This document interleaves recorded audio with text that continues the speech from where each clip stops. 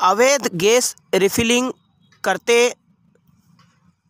आठ आरोपी को पुलिस ने किया गिरफ़्तार। आगे की पूछताछ जारी। राजगढ़ थाना क्षेत्र में कर रहे थे अवैध गैस रिफिलिंग। राजगढ़ थाना क्षेत्र में अवैध गैस रिफिलिंग का कारोबार फिर चल पड़ा है। पूर्व में भी पुलिस कप्तान ने इस क्षेत्र में कार्रवाई कर गैस रिफिलिंग माफिया पर एनएसए तक लगाई थी।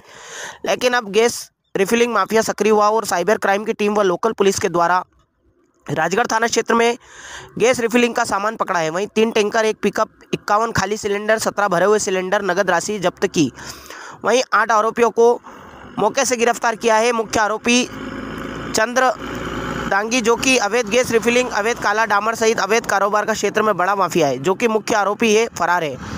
धार पुलिस अधीक्षक आदित्य प्रताप सिंह ने बताया कि साइबर क्राइम व लोकल पुलिस के द्वारा यह कार्रवाई की गई है। इसमें मुख्य आरोपी चंद्र दांगी अभी फरार है उसके दो साथियों को पुलिस ने गिरफ़्तार कर लिया है और जब्त तो सामग्री की कीमत डेढ़ करोड़ रुपए से भी अधिक है। वहीं इसमें और आरोपियों की बढ़ने की संभावना है। पुलिस इस पूरे मामले में अभी और इन्वेस्टिगेशन कर रही है। हमारी साइबर क्राइम और आ, लोकल पुलिस की कार्रवाई में आ, पुलिस ने राजगढ़ थाना क्षेत्र में एक गैस रिफिलिंग का स्कैंडल पकड़ा है। जिसमें पुलिस ने आठ आरोपियों को गिरफ़्तार किया है और अभी करीब चार आरोपी फरार हैं।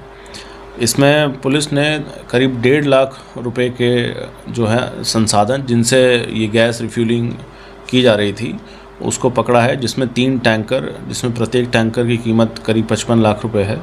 एक पिकअप कुछ नकद जो है, पैसा है। उसके अलावा इक्यावन खाली सिलेंडर और सत्रह भरे हुए सिलेंडर पुलिस ने पकड़े हैं और इन सभी जो इस, इस स्कैंडल के जो पूरे पूरा जो मुख्य आरोपी है वो चंदर दांगी और उसका दोस्त संजय और पवन है।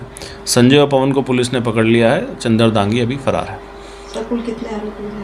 इसमें अभी तक आठ आरोपियों को पुलिस ने गिरफ़्तार किया है और करीब तीन से चार अन्य आरोपी चिन्हित हो रहे हैं और इन्वेस्टिगेशन अभी ऑन है। आगे जैसे इन्वेस्टिगेशन बढ़ेगी और भी आरोपी बनने की संभावना है। सर ये बरामद सामग्री की कीमत कितनी टोटल टोटल कीमत इस सामग्री करीब डेढ़ करोड़ रुपए से अधिक है।